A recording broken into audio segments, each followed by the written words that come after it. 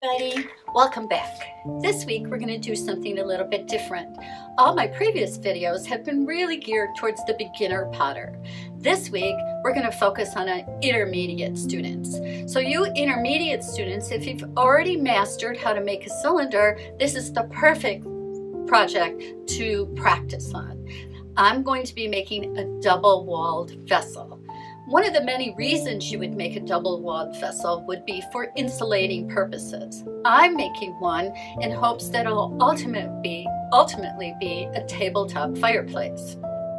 So in this video, I'll be showing you exactly how to throw a double-walled vessel, and then I'll also share my progress in making this tabletop fireplace in the weeks to come. We will be testing prototypes and other things and how the porcelain stands up to direct fire. So this should be an exciting project. Notice I even have trouble centering a large amount of clay. I'm using every muscle in my back. I'm using my thighs, my shoulders, my forearms to really maneuver that clay. In the beginning, you saw my arms moving everywhere. You don't see them moving now. I'm centering here like it's a big plate. I'm centering it wide and thick so I have enough clay once I'm centered to pull two cylinders from my centered ball of clay. You'll notice I'm making it flat and pulling it out, but I still have quite a bit of clay here to work with when it comes time for pulling my walls. I'm compressing over and over again. That will eliminate or at least reduce the chance of S-cracks later on. Because we will have some joining and some trapped air, I want to be really, really careful about that. Right now, I'm opening my vessel. And notice that I'm opening it up just like I would if I was making a cylinder. But I'm not going to open it up all the way. I'm only going to open it up so far so I have some room to create another vessel on the outside of this one.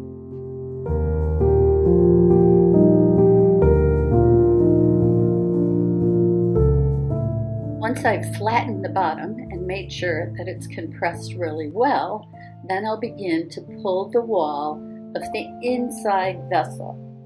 So that's what I'm doing right now, compressing the bottom, and now I'm beginning to bring up the wall for the inside vessel.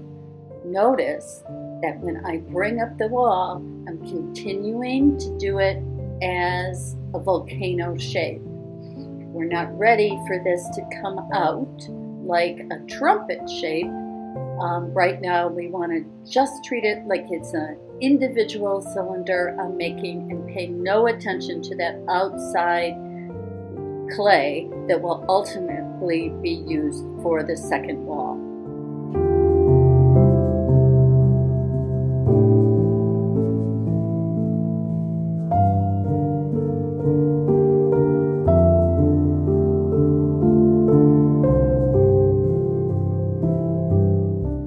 Just pulling up the wall now, not creating the shape, just creating height on the inner wall of my double-walled vessel.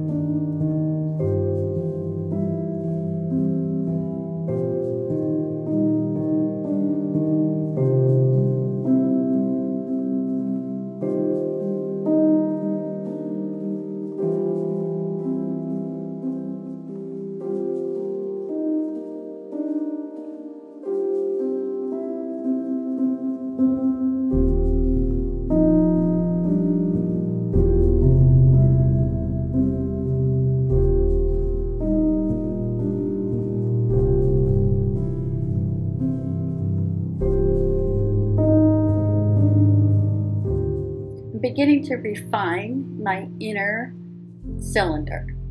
Um, in a few minutes, once I have that refined, I'm fixing the lip, making sure everything's nice and even. This will help me later on when I go to meet the inner and outer walls.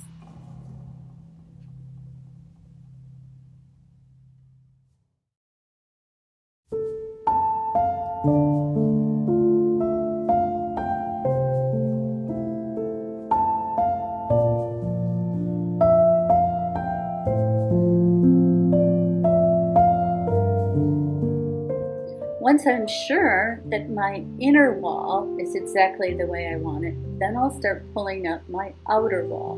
Notice I'm paying absolutely no attention to the inner vessel. I'm only concentrating on the outer vessel as I pull that up towards my inner vessel.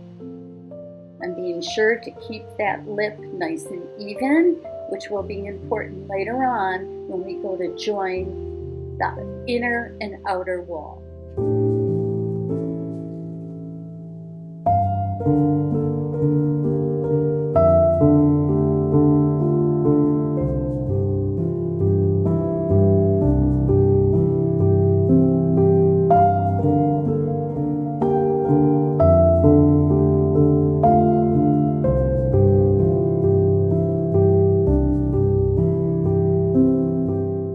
Just like making a regular vessel, we need to get rid of that outside clay now so I can pull it up and add some height to the outer wall and have those meet. So that's what I'm doing right now. I'm cleaning the excess clay as I go to get it out of the way so it makes it easier for me to pull up this wall to meet the other inner wall.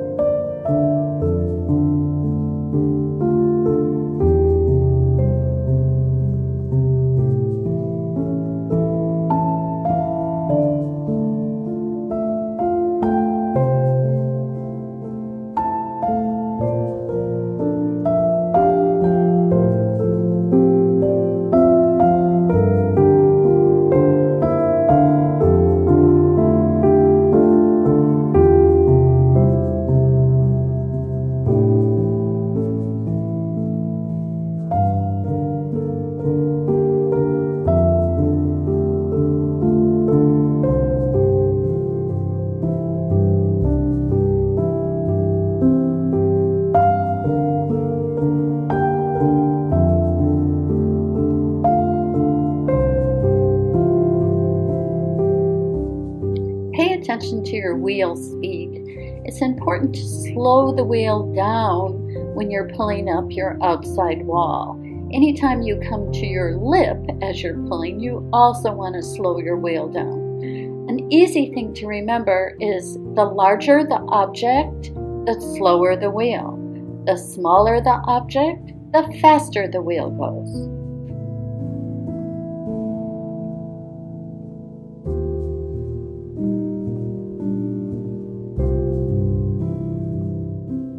Here, I'm finessing that edge. I'm finessing that edge so it's nice and even, pulling it up as thinly as possible because this is going to be a rather heavy vessel, vessel with trapped air in two walls.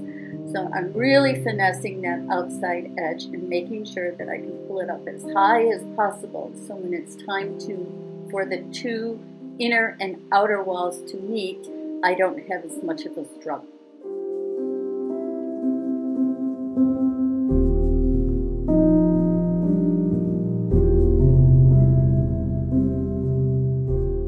Using my rib to get rid of any excess slurry, which will make my walls weaker and it'll make it harder to join the two edges. It's important to work with as little water as possible when working at this stage. We don't want to have water trapped between the two walls, nor do we want a weak outside wall.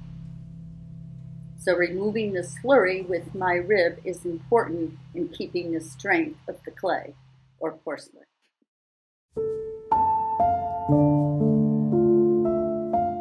Here, I begin pushing the outside wall towards the inside wall using my rib. I'm using my rib to make sure I do not use a lot of water. So as I push that outside rim in, I'm pulling the inside rim towards the outside.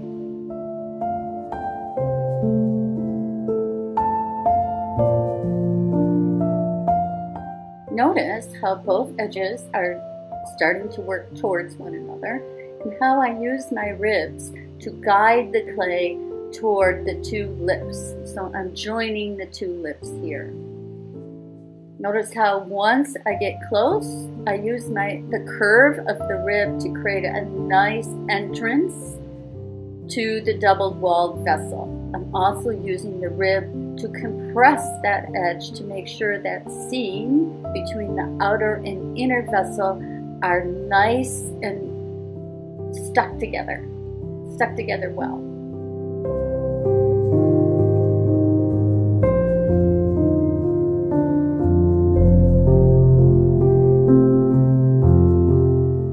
Notice how I keep my rib as clean as possible. And now I'm going to use that trapped air to help me refine my form using my rib and pressure from my hands. Again, I'm really compressing that top lip to make sure the seam between the inner vessel and the outer vessel are nice and connected well. It's like a weld. You want to make sure it's really nice connected because if it isn't, that will pop out during the firing.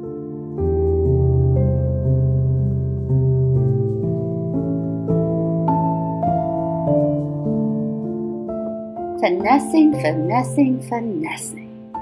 That's what I'm doing here.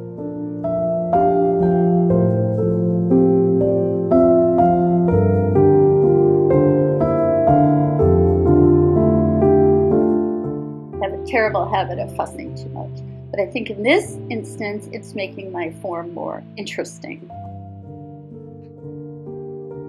Let's talk about trapped air.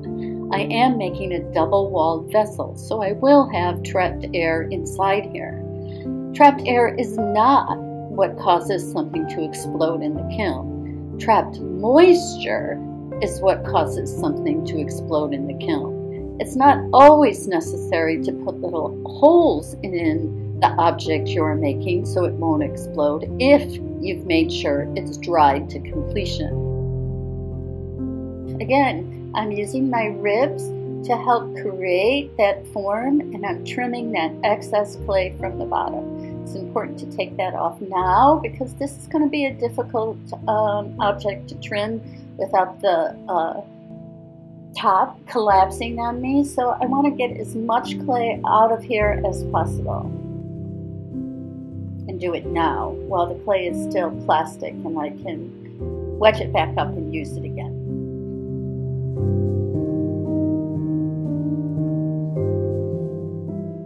finesse, finesse, finesse, clean the rib, clean the rib, clean the rib. Notice that I use my, my uh, metal rib quite often, and I use that because it glides over the surface, it compresses the clay well, and it allows me to reshape the form without adding a lot of water.